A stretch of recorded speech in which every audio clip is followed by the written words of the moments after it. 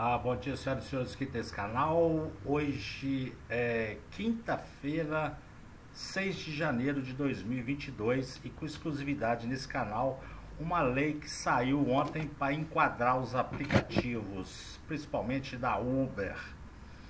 Então vou falar aqui da lei 14297, datada de ontem, 5 de janeiro, sancionada pelo presidente da República, Jair Messias Bolsonaro, que eu estou disponibilizando aqui no primeiro comentário, para que as pessoas possam ter acesso a essa lei tá? e aplicar, a, nesse caso, desse print que eu recebi aqui no, no grupo de WhatsApp, a, da página do Facebook da Uber Motorista de São Paulo. E aí tem uma postagem aqui um motorista chamado Anderson, e respondendo aqui a indagação dele, que pergunta: Boa tarde, fui diagnosticado com Covid ontem. Ah, suponho que essa postagem aqui tenha sido de hoje ou de ontem. Liguei na Uber para saber sobre o auxílio Covid e fui informado de que não estão mais pagando. Então, essa quadrilha da Califórnia informou para o motorista que pegou Covid que não está mais pagando. Ou seja, lugar de bandido é na cadeia, porque a Covid continua pegando, né? embora a Uber não esteja mais pagando. Mas no pau, na justiça, ela é obrigada a pagar sim.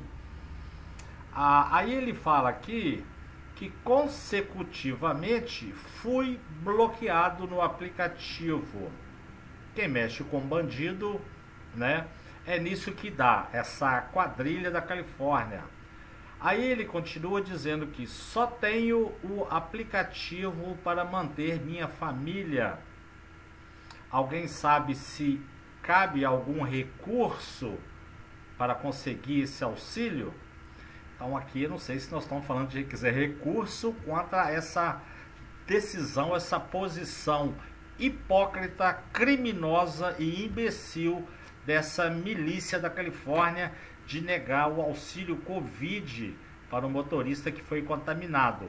Por isso eu trago aqui a lei de ontem, que ela é direcionada aos entregadores, mas que eu já fiz uma consulta aqui ao desembargador aposentado Pepe Chaves, que já esteve várias vezes nesse canal e hoje é advogado, que disse que a aplicação da lei é extensiva também aos motoristas de aplicativo. Eu vou explicar. A lei dispõe sobre medidas de proteção asseguradas ao entregador que presta serviço por intermédio de empresa de aplicativo de entrega durante a vigência da emergência em saúde pública decorrente do coronavírus responsável pela Covid-19. Eu até questionei numa live aqui o, o, o então desembargador e hoje advogado Pepe Chaves, que estávamos aqui tratando de uma insalubridade extemporânea, ou seja, passageira, que é o caso da Covid. Então, eu entendo aqui a, essa pandemia como sendo uma insalubridade extemporânea, razão pela qual a lei foi assinada ontem pelo presidente da República.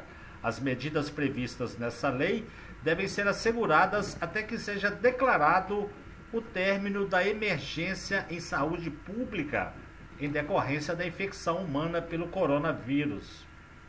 No caso de acidente, será paga a indenização pelo seguro contratado pela empresa para a qual o entregador prestava serviço no momento do acidente. Isso aqui é uma coisa específica. Assistência financeira pelo período de 15 dias, se você pegou Covid, o qual pode ser prorrogado por mais dois períodos de 15 dias, mediante apresentação do comprovante ou do laudo médico. A assistência financeira prevista deve ser calculada de acordo com a média dos três últimos pagamentos mensais recebidos pelo entregador ou pelo motorista, já que a lei vai ser aqui estendida. Eu vou explicar. Caberá à empresa de aplicativo de entrega disponibilizar máscaras e álcool gel aos entregadores para proteção pessoal durante as entregas do contrato ou do termo de registro celebrado entre a empresa de aplicativo de entrega e o entregador deverão constar expressamente as hipóteses de bloqueio, de suspensão ou exclusão da conta do entregador da plataforma eletrônica com aviso prévio de três dias de antecedência e acompanhada das razões que a motivaram. Então veja bem aqui que tem que explicar por que está bloqueando o motorista aí na plataforma e tem que ter um aviso prévio de três dias de antecedência acompanhado das razões que a motivaram. O descumprimento dessa lei pela empresa de aplicativo de entrega resultará na aplicação de advertência e pagamento de multa administrativa no valor de 5 mil reais por infração cometida em caso de reincidência. Então, eu achei que a lei teria ficado incompleta por ser direcionada única e exclusivamente aos entregadores, mas aqui a, o Pepe Chaves aqui, a, o desembargador aposentado me disse que a aplicação é analógica, como permite a CLT no artigo 8